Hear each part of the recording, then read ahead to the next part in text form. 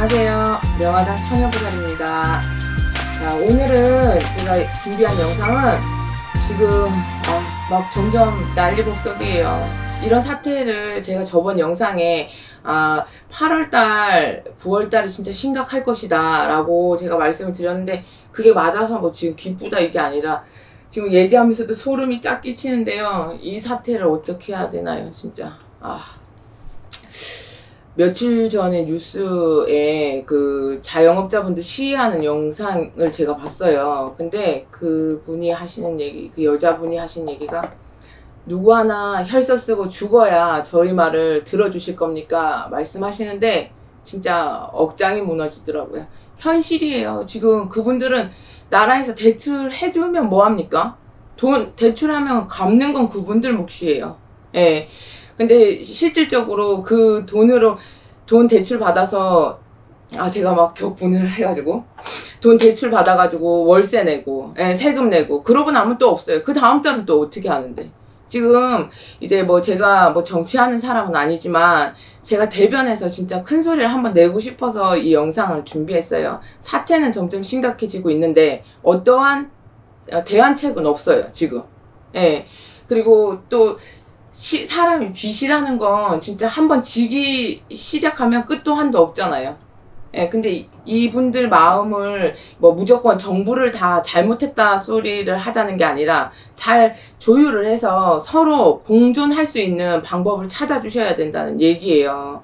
그리고 또 뭐 지난 얘기지만 처음에 백신 들어왔을 때 아, 이건 어차피 예고된 일이었지 않았을까요? 오히려 백신이 들어왔을 때 그때 틀을 딱 잡아서 더 조이셨어야 돼. 예, 그래야 그 시간이 흘렀을 때 지금은 오히려 더 안정이 돼 있을 거란 얘기예요. 그때 백신 들어왔을 때 정부 입장에선 솔직히 자랑하고 싶었겠죠. 이제 백신 들어왔으니까 우리 할 일 했다. 예, 그런 의미에서 그때 확 풀어주셨죠. 그러니까 이렇게 천, 지금 여기저기 전국 방방곡곡 여러 군데에서 지금 점점 늘어나고 있어요. 매일매일. 예, 진짜 뭐 주말 때 보면 깜짝깜짝 놀래겠어요.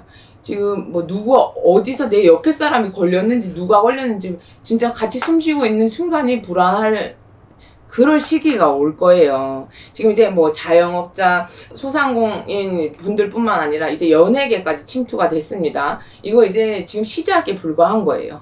예, 서로 좋은 사이라도 이게 병이 왔다 갔다 하다 보면 어 나쁜 사이가 될 수밖에 없고 그리고 점점 벽이 생기잖아요. 그럼 지금도 사람과 사람이 만나는 시간이 줄어들었는데 앞으로는 더 할 거란 얘기죠. 그리고 이제 어뭐 어, 방송 프로그램에도 영향이 갈 수가 있습니다. 네. 촬영에 분명히 문제가 생길 거니까요. 네. 그리고 연예계 침투함으로써 이제 방송국뿐만 아니라 뭐 그 일하는 스태프분들 해가며 지금 여러 가지 심각한 문제예요. 이게 그냥 뭐 짧고 굵게 끝낸다 누가 하시던데 그 말씀을 이게 짧고 굵게 끝날 수가 있을지 진짜 의문이에요. 정말.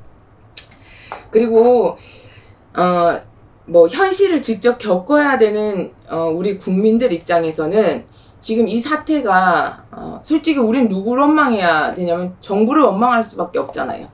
그잖아요. 네. 네. 그렇기 때문에 어 뭐 이 쓴소리를 들으신다고 해서 기분 나빠하실 게 아니라 오히려 책임감을 가지셔야 된다라고 저는 생각을 합니다. 예. 국민의 한 사람으로서 어, 이 세상을 살아가는데 우리는 이제 정부를 믿고 세금을 내는 거잖아요. 그죠? 세금 내면서 대한민국 국민으로서 당연히 권리라고 의무라고 생각해요. 이 얘기 할수 있는 건.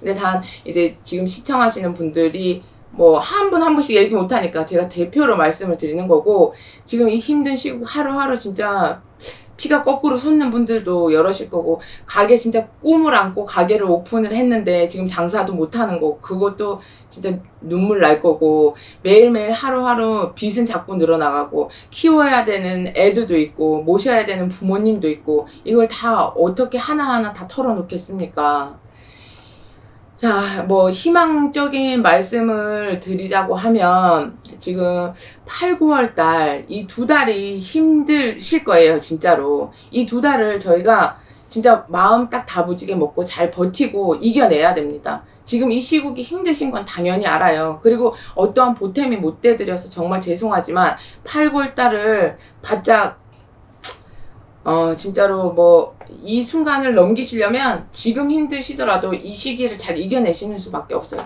저희가 서로 어디 멀리 놀러 갈 거 참고, 예, 그냥 집에서 뭐 방콕을 하든 이런 식으로 참아내셔야지.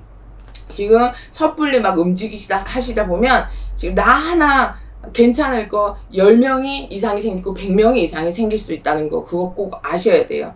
그리고 우리나라는 어, 하반기에 들어서서 이 상태로 간다면 진짜 최악의 경제 침체가 올 거예요.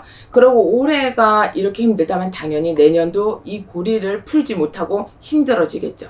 그리고 지금 이제 뭐 백신 계속 들어온다 들어온다 해도 이거 뭐 눈에 보지 않는 이상 국민들이 믿겠습니까? 몇 번이나 계속 이거 뭐 핑계 아닌 핑계를 대면서 미뤄지고 미뤄지고 하는데 어, 국민들을 살리셔야 나라도 있는 거고 정부도 있는 겁니다. 어, 이 영상 꼭 누군가 높으신 분들께서 보시면 국민 하나하나 한 명한 명의 마음이라는 거 꼭 되새겨 주시고 국민들 살 길을 열어주세요. 저희가 있어야 나라가 있는 거잖아요. 그죠? 그렇기 때문에 오늘 이 영상 준비하면서 저 솔직히 음, 어, 속상한 것도 있고 막 얘기하면서 지금 이렇게 힘든 세월을 살아가는데 누구 하나 보탬이 안 되고 도움이 안 돼서 진짜 뭐 죽어버릴까 자살하실 막 그런 생각도 하시는 분들도 분명히 있을 거예요. 근데 진짜 그런 분이 계시다라고 하면 누군가 옆에서 힘이 돼줘야 된다라고 하거든요. 제가 전화라도 한 통화 받아주고 뭔가 힘이 되는 말씀이라도 해드리고 싶으니까 이 영상 보시면 또 이것도 인연이고 서로 의논 공론 하다 보면 뭐 제가 그 힘든 분을 붙잡고 구술해라 뭐 치성을 드려라 그런 말이 아니라 진짜 인간으로서 같이 마음이 통하는 부분이 있다라고 하면 내 편이 있다는 걸 아시게 되면 또 아 그래 내가 그래서 살아야 되겠다 이런 생각도 하실 수도 있단 말이에요. 그래서 이러한 도움도 드리고 싶고 너무 절망적인 생각들만 하시지 마시고요. 어쨌든 이 고비를 넘기면 또 살 수 있는 방법이 생겨요. 그러니 뭐 터무니없는 말 하네 이렇게 생각하시지도 마시고 제가 부탁드리고 싶은 건 이 세상 태어났으면 남들 해보는 거 다 해보고 예, 하고 싶은 거 하고 먹고 싶은 거 먹고 살 만큼 살다 가야 되잖아요. 그러니까 아, 내 몫은 그냥 내가 어떻게 끊어야 되겠다. 자포자기 하시는 일은 진짜 없었으면 좋겠고요. 어, 그리고 좋은 날은 분명히 올 거라 믿습니다.